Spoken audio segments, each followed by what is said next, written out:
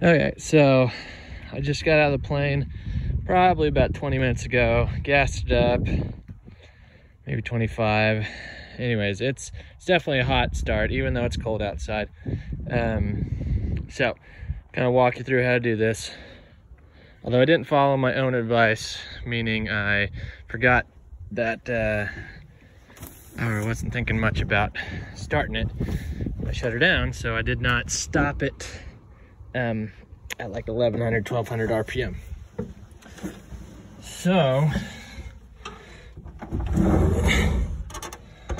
so I'll have to kind of guess where that fast idle is.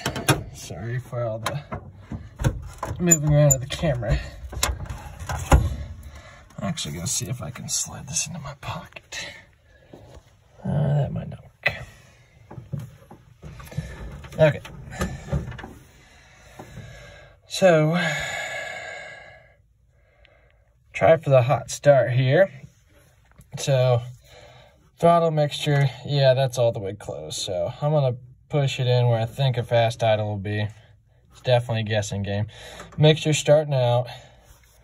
So what I'm gonna do, I'm gonna turn on all electrical stuff, mags and E-mag,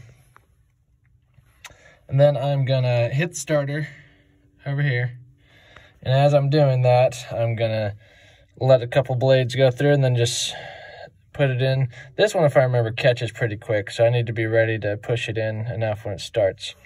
So I will try to like lean this phone up against here and try to do everything and maybe this will pick it up for you. So, okay, so mags are on.